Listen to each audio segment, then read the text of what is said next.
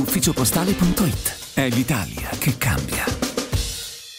Settimo congresso regionale della Willa Marche, il sindacato della Will dei lavoratori del settore agroalimentare, un momento molto delicato per il settore sia a livello nazionale che regionale, quindi un momento di confronto e di riflessione per i lavoratori su questi aspetti. Abbiamo ascoltato alcuni dei referenti nazionali, regionali e territoriali della Huila. Cogliamo questa occasione eh, per rivolgere eh, un ulteriore invito al governo. Bene il bonus da 200 euro eh, che verrà erogato a tutti i lavoratori con meno di 35 mila euro di reddito, ma ci vuole di più. Eh, bisogna tagliare le tasse sugli aumenti contrattuali, eh, bisogna mettere nelle tasche delle persone soldi necessari ad evitare che il Paese vada in recessione.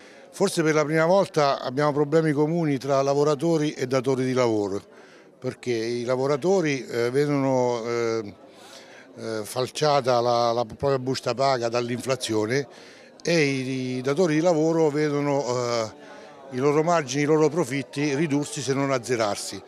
Quindi per la prima volta forse dobbiamo discutere insieme e seriamente.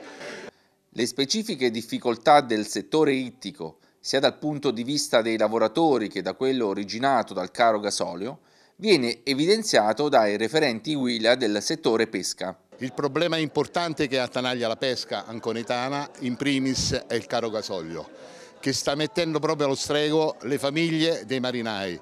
È un settore veramente in crisi.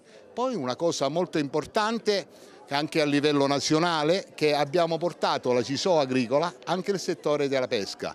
Però attualmente ancora non ci sono le condizioni come farla applicare.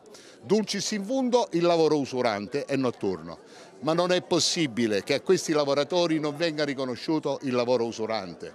Eh, credo che la pesca sia un settore affascinante perché comunque caratterizza tutte le nostre coste ma allo stesso tempo necessita veramente di duro lavoro e dura fatica. Noi abbiamo aperto la segreteria lì al porto d'Ancona, nella marineria d'Ancona, poco più di un anno e mezzo fa e di lavoro so che ce ne sarà tanto.